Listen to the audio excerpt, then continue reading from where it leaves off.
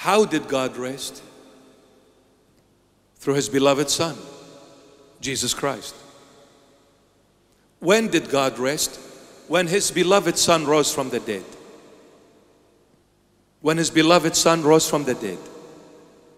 Because the resurrection of the Messiah is the redemption and the salvation of those who received Him as Lord and Savior.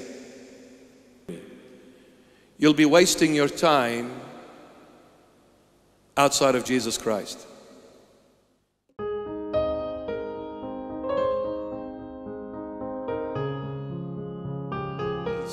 Rest. Shabtha. Rest. Shabbat means you don't do anything, you just rest. So who rested? God. Not humans, God. The Holy Bible says, and God rested on Shabbath on the seventh day. God rested, not us. Now, since God rested on Shabbath, then what is God's rest? How does God rest? And when does God rest? Does it mean that God worked and now He stopped working? Is there such a thing as God stops taking a break? What did the Lord Jesus say? He says, My Father till this moment is working, and so am I. Because the day that comes, God stops working, everything comes to an end. If God stops, everything stops. So, what does it mean that God rested? How did God rest? When did God rest? There is only one way for God to rest. Only one way. When I and you, you and I, are sin free. Are sin free. That's when God rests. How did God rest? Through His beloved Son. Jesus Christ. When did God rest? When His beloved Son rose from the dead. When His beloved Son rose from the dead. Because the resurrection of the Messiah is the redemption and the salvation of those who received Him as Lord and Savior. You see, to some people, this is unacceptable. But everybody's got a choice to make. But at the end, you will have to be responsible for the consequences of your choices. Believe you me, and I'm saying it out of love and respect and humility. Believe you me. You'll be wasting your time outside of Jesus Christ. The one who will be standing there to judge you or to welcome you is Jesus Christ. There won't be no one else. This I put my life on the line for. You can put a sword and chop my head. I'll never go back on what I say. There is only one that will judge you or welcome you to heaven. His name is Jesus Christ of Nazareth. No one else. If you are thinking there is another one, you've wasted your life for nothing. Now, this truth will be realized sooner or later. But unfortunately, to some will be too late to realize it. There's no comeback. Once the spirit leaves the body, there is no comeback. God rests when us are sin free.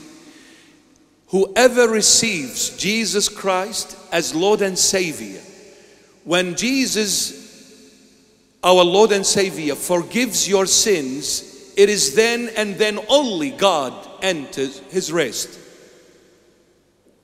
So, what is Shabbath?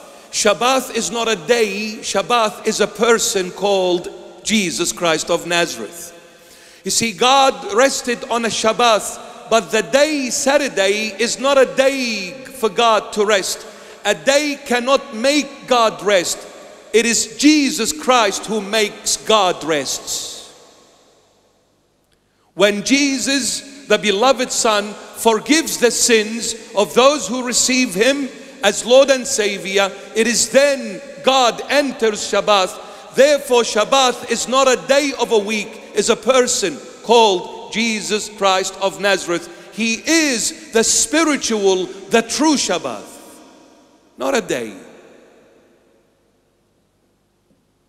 And Jesus rose from the dead on Sunday. Because Sunday, Khad Shabba. Khad Shabba, Sunday means the first day of the week. And from Sunday to Sunday is eight days.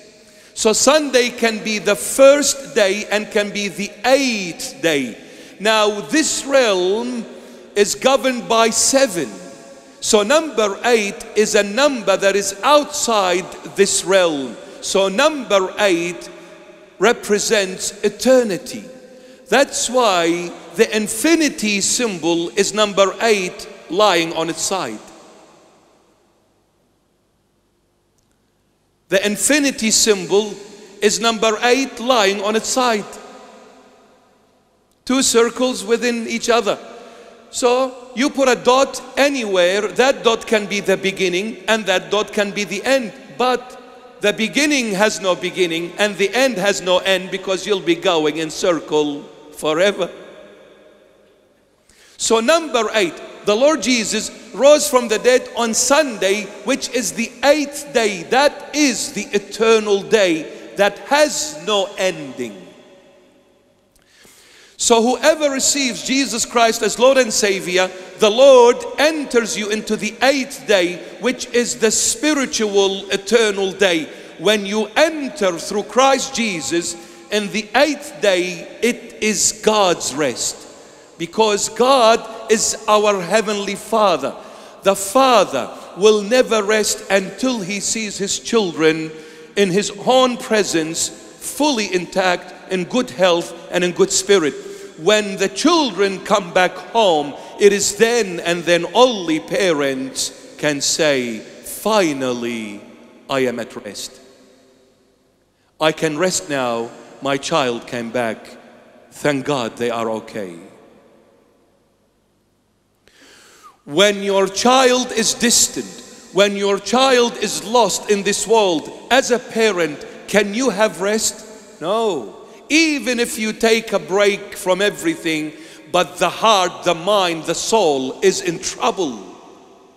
Because my own son, my own daughter are distant from God and from me as parent. I will never rest until they come back home. This is God.